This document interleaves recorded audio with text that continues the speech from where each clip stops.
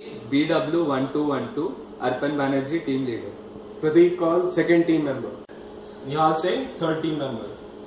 mechanism which we have this is a two bar linkage mechanism for which we have used a worm screw in the center between two gears and the worm screw is connected to a 150 rpm dc motor so this whole gripper assembly is connected by these two gears to the main chassis and this gear is connected to a low rpm motor for controlling the upward and downward motion of the gripper so for providing the voltages for the upward and downward motion we have used potentiometers to provide uh, variable voltages for the upward and downward motion.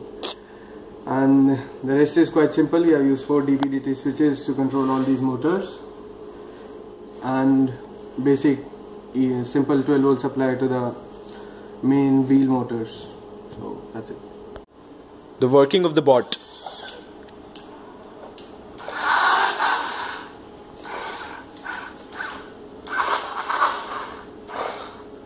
Deposit zone.